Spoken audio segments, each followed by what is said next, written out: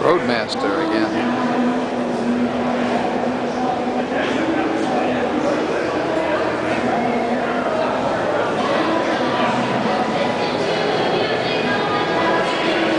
It's like my first car, 69 Roadrunner.